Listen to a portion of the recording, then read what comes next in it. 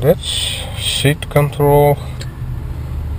Uh, that's locking unlocking the door. That's mirrors. Uh, side windows open closed. So it's everything over here. It's real real comfortable. Yeah so.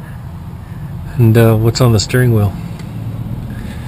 So here, here is uh, that's everything with the computer, with navigation. So you can you can uh, navigate here, or here, or here.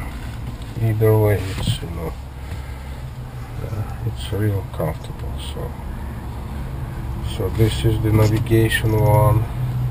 Here is the other one, and here is the other one. Have three uh, places. Which one is more comfortable? So.